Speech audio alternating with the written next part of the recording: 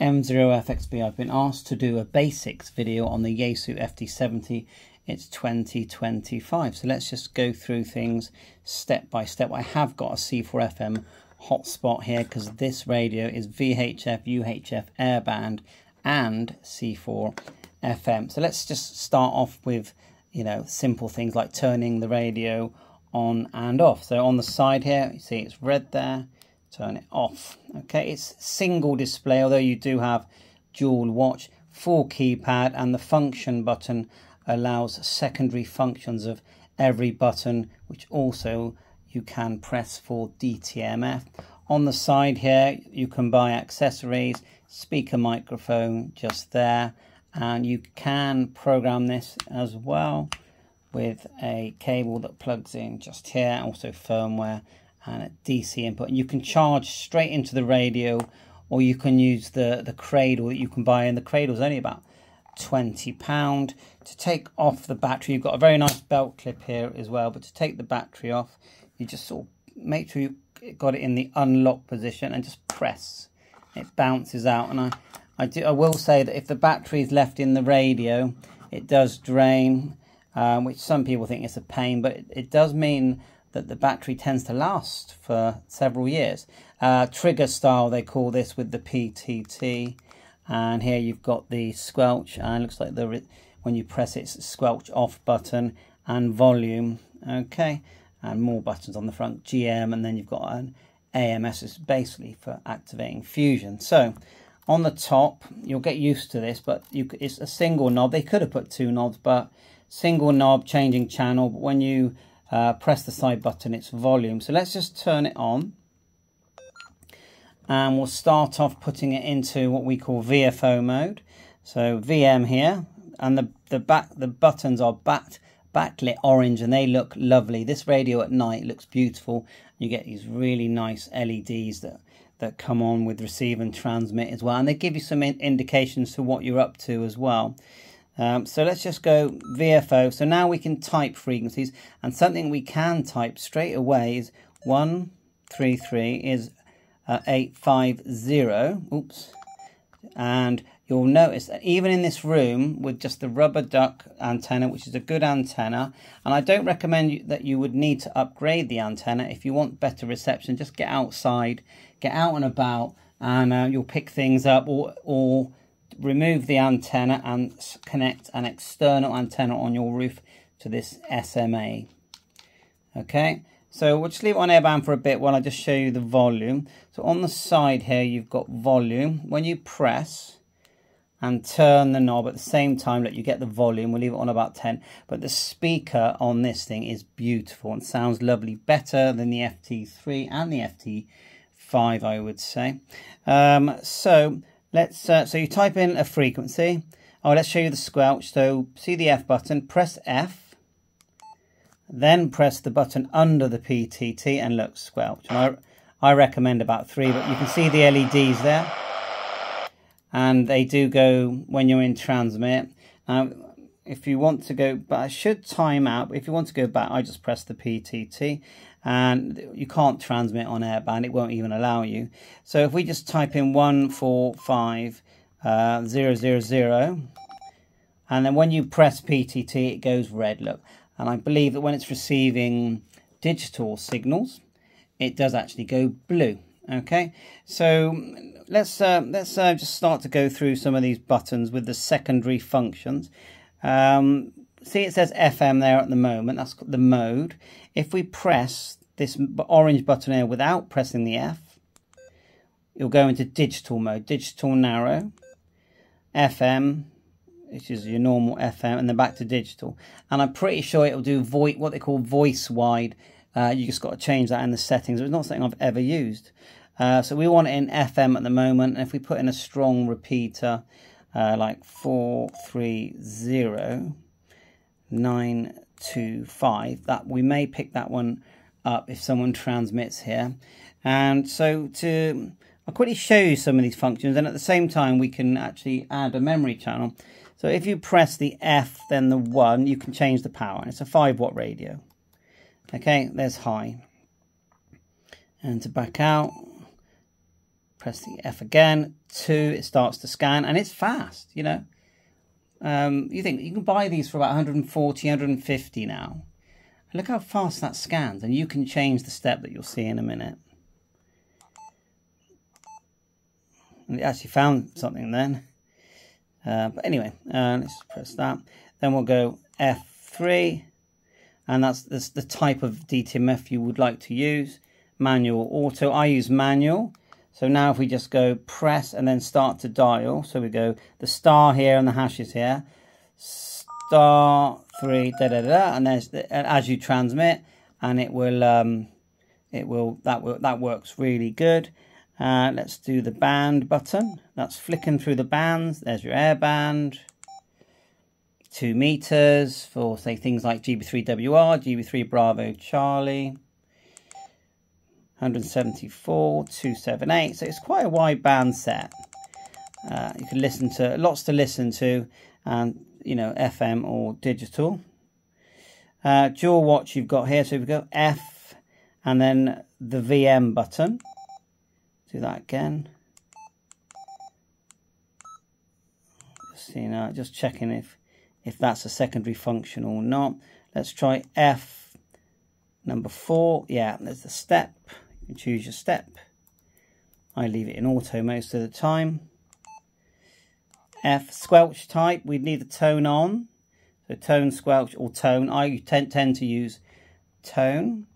And then we'll go, that was F, then code, sorry, do that again. F, then 6. And we can do 94.8 tone, or I think I need 77 for that repeater. So we've got the tone. Uh, we've got the frequency in already. Uh, let's put that back in because I've been changing it. 30925. So we've got the tone in, but we do need, um, let's go F, squelch type tone. F code 77, yeah. Press F again. We do need the shift amount. And we need to also put it into FM, so mode button. FM and it's showing the tone that FM's there. Uh, let's do the uh, the minus shift. So we'll go F then zero. See it says simplex, we want minus. There you are. So we're nearly there. We just need to set the shift amount so that it shifts correctly. We need 7.600. So there is another very large menu if you press and hold the F. And you can cycle through the different memories, and the one we're after is 46. Okay, the repeater frequency. If we press the F again, we actually want 7.6. That one, it's a bit long-winded doing it this way. Um, let's just go like so. And if we back out, press and hold. So now, in theory, we've got everything we need to open that repeater. Ah, we got the plus shift. Let's do that again. F and then repeater plus. There you go. M0FXB test test. Unfortunately, we're not going to make it inside this room. But that's the repeater. And now to save that to memory, just press and hold the VM.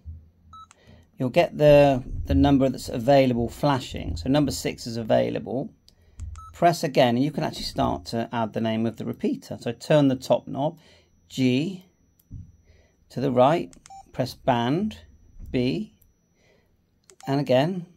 Now if you go backwards you'll get numbers, 3, and look how clear these digits are. And it's FI, F, then I. And then press and hold. To go to memory channels, press VM, and there we are. M0FXB. Look how nice and, and clear that is. So if we go to a digital channel that I created, you can see that someone's there and it actually does show. And here's my hotspot. And I, I would say if you've got a digital radio and haven't got a hotspot, that you are missing out massively you can wait around and just use your repeater, which is, you know, very happy about people that provide repeaters. But this is like having a repeater at home. So we just do the volume. we need that business from the holidays and that sort of stuff. But uh, when it gets a bit quieter, uh, Brian. I'm not going to do the whole showing you how to add digital memories. So I've already made a video on that.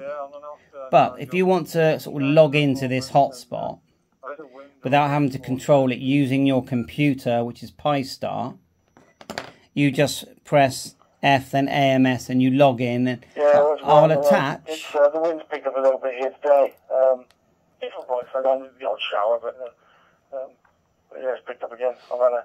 I'll attach a video for you I've to a shack, a bit of, uh, control the WIRES-X side of this. Um, You've also got group mode as well. a few different areas and stuff. Uh, HF wasn't brilliant today, so I, I packed up on that. Not sure if that will actually work until unless we log into the to look hotspot. around before, uh, the tea. To. I'm going to hold down F just quickly flick you through the different menus. So you've got repeater, receive mode, receive save, scan, the lamp for the backlight. You want to turn that on. That's the scan lamp temperature. Timeout of how long you speak.